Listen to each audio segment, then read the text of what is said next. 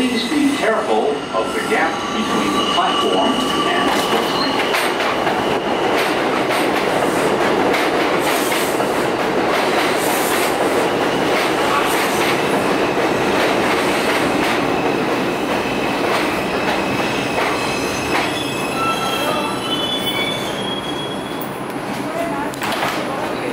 is a Manhattan-bound five local train.